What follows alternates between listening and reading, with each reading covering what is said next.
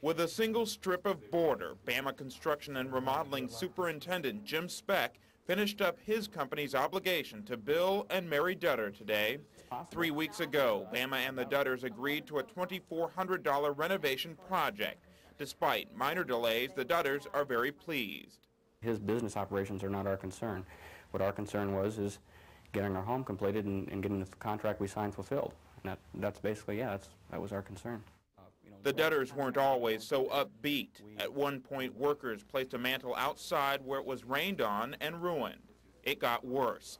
Mrs. Dutter filed a police report which said there were articles taken from the residence. An estimated $300 was missing, but that problem too was solved. The money was missing. Um, I expressed that to Mr. Nelson Monday when he came out. That was taken off our bill.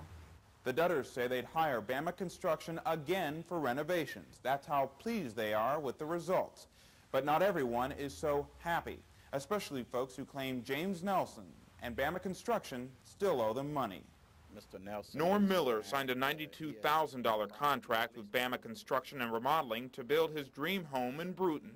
The workers walked off because they weren't getting paid by Bama and James Nelson. Miller says he's only days away from filing a lawsuit to get back the money he's owed. I'm afraid if this uh, is not resolved, that uh, with emotions running high, that something negative might come out of it. It remains to be seen if James Nelson and his company can turn another negative into a positive. In Mobile, I'm Chris Schauble, Action News 10.